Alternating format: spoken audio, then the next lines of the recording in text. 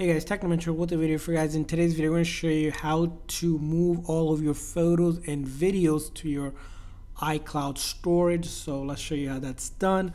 So it's going to be really simple and easy to move all of your photos and videos to your iCloud account. First thing you need to do, of course, go into your setting of your iPhone and of course make sure that you're signed into your Apple account ID if you're not.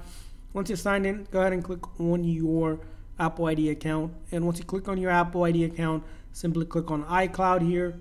And under the iCloud options, as you can see, your apps using iCloud, your photos, if you click on that, your settings should look like something like this.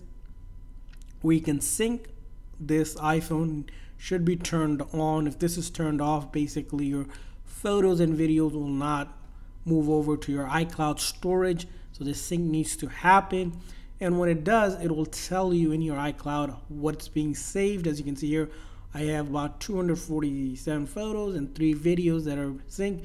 And the status matters. It shows you when the last time it got moved. So you want to see just now or very recent. That means up to date information is there.